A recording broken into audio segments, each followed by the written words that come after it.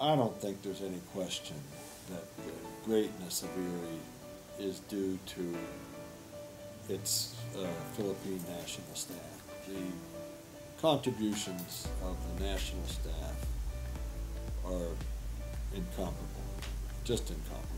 Um, and I, IRRI discovered a model that that I didn't fully appreciate until last year. Um, after nine years of being director general, okay, seven years additional working for IRRI as a scientist. I didn't, and IRRI created or discovered this model completely by accident.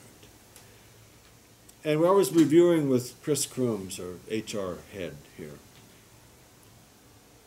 the our staff profiles and that sort of thing. And we're remarking that the turnover time of international staff on the average is about seven years. And turnover time of the national staff was closer to 20 years.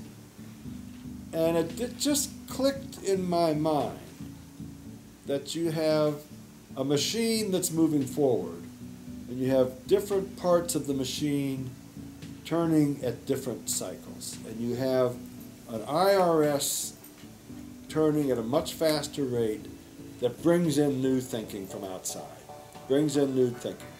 Postdocs, entry level scientists, they stay for seven years, they go on to their career. Maybe they come back to IRRI, maybe they don't. And they're bringing in, constantly injecting new, new ideas. You have another part of the machine that's turning over much more slowly, that's taking up that knowledge and innovation that's coming in from the young scientists, but containing and retaining the past experience and accumulated knowledge. And that system of interaction, of timing, the national staff having the institutional memory, the experience, the knowledge of the, of the historical nature of the experiments, the context within which we're working, constantly interjecting and interacting with new scientists coming board, coming on board, is brilliant. It's a brilliant model of renovation, rejuvenation, and conservation. And I thought, holy hell, you couldn't have designed a better system. Of course, it wasn't designed, it was just pure luck. But it's a brilliant, brilliant uh, mechanism. And, and you don't see that. And I, I just, and I look at that, and I think that among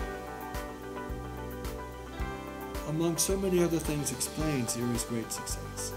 It's that contribution, the commitment, the devotion of the longevity of the national staff, with the excitement, the innovation of new, new international staff coming and going, and uh, it, it, it's, it's, it's, it's quite a feat. And I'll have to think about this and maybe write it up and get some numbers behind it because I think it's that was an insight that hit me, as I said, just a year ago, and and it was, it was like one of those lightning scientific discoveries. You go, oh, of course, it's so obvious.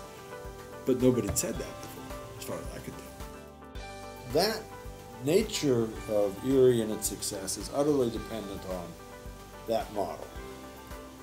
But that model would never work without the Filipino culture.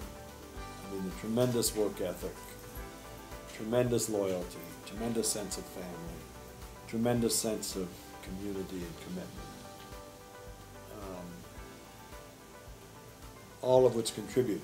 And that, that is another reason that IRRI has been success, so, so successful. That Filipino culture, that I mean, it has its downsides, don't get me wrong, but uh, it's a major contributor to, um, to making IRRI what it, what it is and what it has achieved.